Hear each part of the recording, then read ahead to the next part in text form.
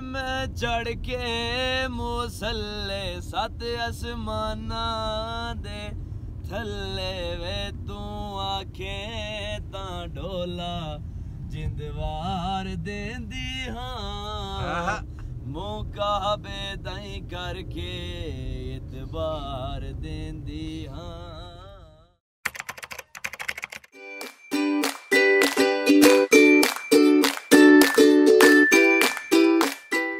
यार ये बंदरों को खाना डाल रहे हैं और इतने शरीफ आदमी हैं ना सारे कि इन्होंने वहाँ से 12 पैकेट लिए हैं वो छोटे छोटे हम लोग होते हैं उसके और 12 में से 10 पैकेट बंदर इनसे छीन के ले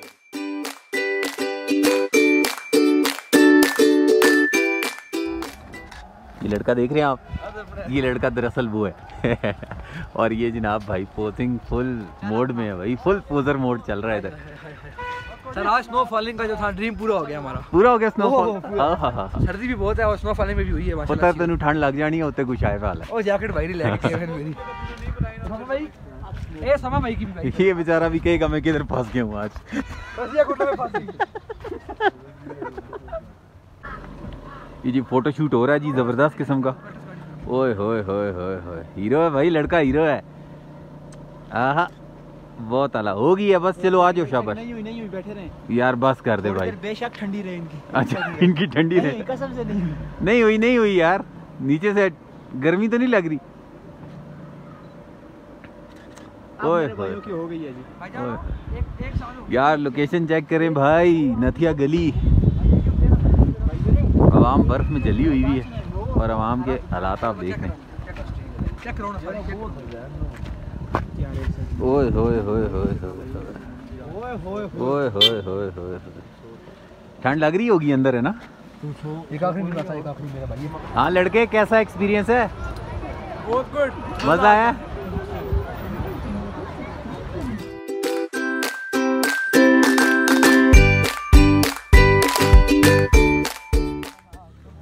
बिल्कुल हल्की हल्की सी मदम मदम किस्म की स्नो हो रही है।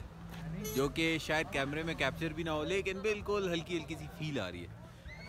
और ओवरऑल जो मेरे लड़के हैं, इनका फ़ोटो सेशन अभी तक ख़त्म ही नहीं हो रहा। वो बेचारा अभी जला हुआ है फ़ोटो बना बना के समझ ही नहीं आ रही क्या हो रहा और क्या नहीं हो रहा।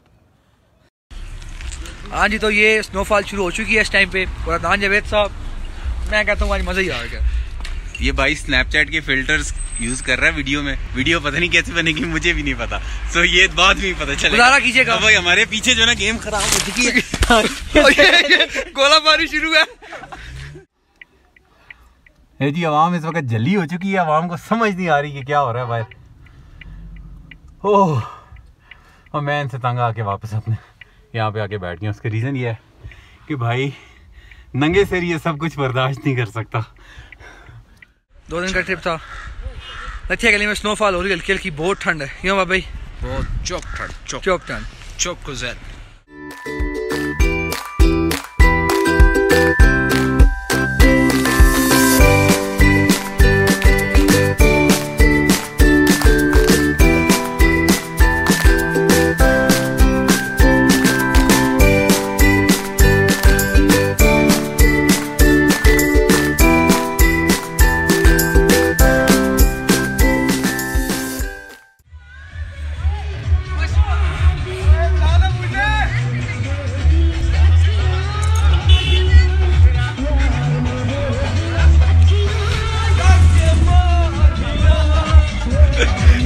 सीन है भाई।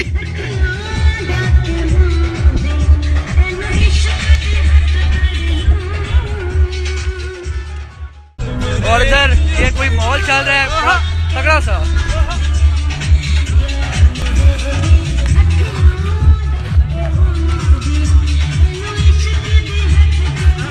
ये आपका ट्रैवलर ट्रैवलॉग भाई ये फिर रहा। है ये देख मेरे भाई ने तेरे लिए कहाँ से गाड़ी मोड़ी है? तू इस बात का गवाह है। लेकिन मुझे खुश फिर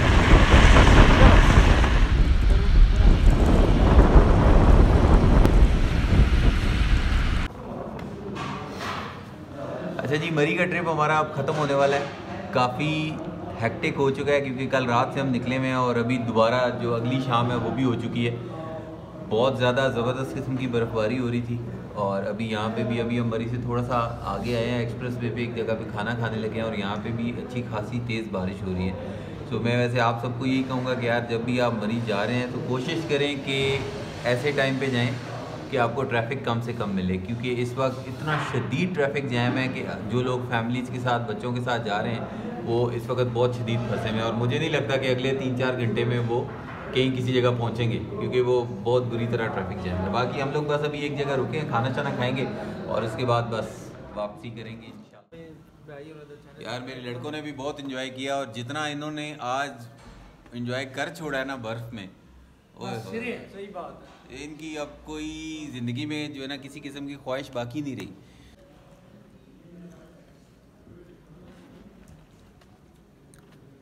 क्या ज़बरदस्त कढ़ाई है यार।